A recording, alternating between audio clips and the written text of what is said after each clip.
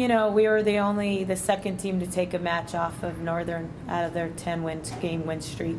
Um, so I think it just comes down to us being mentally ready. I think physically we're ready, um, but I think we get in our own heads a little bit. Um, you know, there's no doubt that the girls want to win, and the girls, but I think sometimes it surprises them at how good they are and how they can compete with people. Um, so hopefully, we just need to get that attitude of we deserve to be on the same court as Northern. They put their shoes on the same way we put our shoes on, um, and just go out there and play the game. Yeah, I think um, preseason kind of showed us like what we're capable of. Um, kind of just being able to just play the game, not really knowing how the team on the other side really is going to react, and just being able to just simply play. Like it starts with a pass, a set, a hit and um, I think um, we kind of just grew as a team, like over spring season and over the preseason tournaments. I think we just kind of clicked a little bit better, and our confidence has just kind of grown ever since the preseason tournaments. Shelby, how can you guys avoid possibly like playing up to a great team like number three Northern versus maybe playing down to some of your other opponents? How can you just keep some consistency and not kind of fluctuate? Um, I think our key really is just serve receive and also just being able to run our faster offense that we have. Um, and just kind of, again, being able to play our game that we know that we can play and kind of just not really worry about who's on the other side of the net and control our side. Dan, what do you think about that just from the bench of what you see? I think we got to control the controllables, and we talk about that a lot. Um, we can control a lot of things on our side, um, and sometimes we get a little bit rattled um, when the other team does certain things that we can't control. Uh, but if we just control what we can control, then we'll be okay. And um, you know, making sure that we move our feet into serve receive position, um, talking on serve receive, running our faster offense, being creative. We get a little bit when things aren't going right. We get a little bit complacent. Um, and we get predictable on the offensive side. So um, that's one focus we're going to take into this week is just being a little bit more creative. And I thought we did that a little bit more against Northern um, because I felt like the girls felt they had nothing to lose, so they just played. And I think that's what they have to go in it to every game and just we have nothing to lose, like nothing at all. So just go and play every game.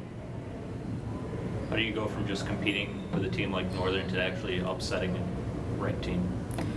Well, we're going to have many opportunities, uh, you know, in the NSIC. I think you know it just starts from the girls just playing consistently for those, you know, those games um, and not going up and down.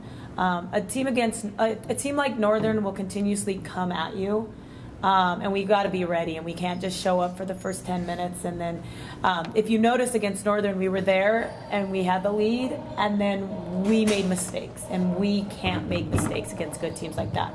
So we have to make sure that we control every aspect of the court on our side and eliminate those runs that teams get get on us because of us not being disciplined. What are you guys up against when you go down to UMary this week? You know, it's just another game and you know we're trying to you know we understand the importance of um, playing the in-state rival. Um, but for us like i told the girls it's just another tuesday game. And we're just going to go down there and be prepared and play the game. And you know we know that you know it's a smaller gym so we know the atmosphere is going to be great. Um, you know it's a rival game. But to us it's just another game. Dana how could you talk about shelby's performance this year and know, two all tournaments, broke a school record, has been really consistent and, and, good for you. Talk about her performance this year. Um, you know, Shelby's played really well, and, and Shelby's now starting to realize that because of her success, teams are making sure that they have a double block on her every time. And I think what separates Shelby last year to Shelby this year is Shelby's really learning how to do high hands, um, being able to now attack a block, being able to tool a block. And when she gets that chance to put that money shot down, she does. So she's just become a more complete volleyball player, um, especially on the front row side. But she's also done a lot of work and puts in a lot of extra work every day um, on her defensive side so that she can stay on that court for us. Um, so she's just become a lot smarter. Um, of course, she's gotten stronger every year, um, but she has more tools in her pocket more than she's ever had before. Yeah. Shelby, as you become a more complete player, I mean, how much does that add to it?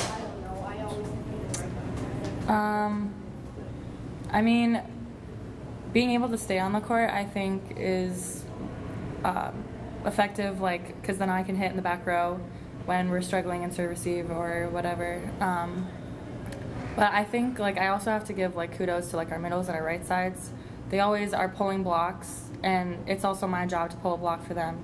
So I think um, I think just being able to trust my teammates that they're gonna pull the blocks for me to be successful, and they're able to trust me to get them the one-on-one chance that they are going to have. So just like being able to work together, because in the end, it's not just me. Like everyone is helping me and we're all trying to help the other people so they do get that chance to be successful at the front row and get a hit that they need.